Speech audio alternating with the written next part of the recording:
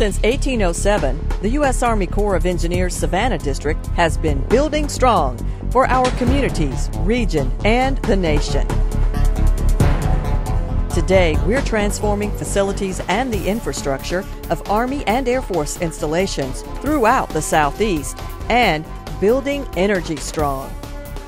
As part of our multi million dollar military construction program, we integrate eco friendly design and enhanced energy efficiencies into each project. Sustainable features include recycled building materials, rainwater collection systems, geothermal heat pumps, and solar panels, just to name a few.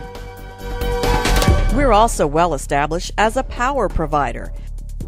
The three hydroelectric dams we maintain and operate along the Savannah River produce more than 1.5 million megawatt hours of low cost, clean, renewable energy each year.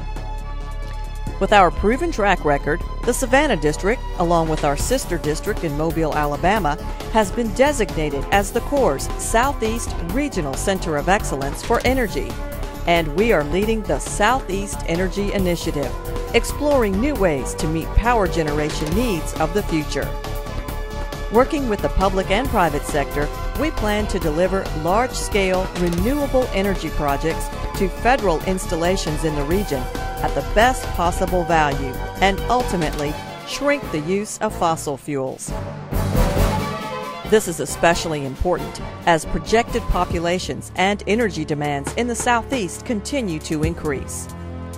Our relationships with federal customers, utilities, and the Department of Energy's Savannah River site is invaluable, and it forms the foundation for exploration of energy production projects with emerging technologies like biomass, biofuel, hydrogen, waste to energy, and even small modular nuclear reactors. We are excited about the prospects for our burgeoning joint venture with the Savannah River National Laboratory and the steam biomass cogeneration plant there. Biomass is a renewable energy source made from living or recently living organisms such as wood, grass, or animals. The cogeneration process produces energy in the form of both steam and electricity. The Biomass Project is a prime example of the types of technologies which may be leveraged under this partnership. It also shows how private and public interest can provide affordable energy to the federal government with minimum federal investment.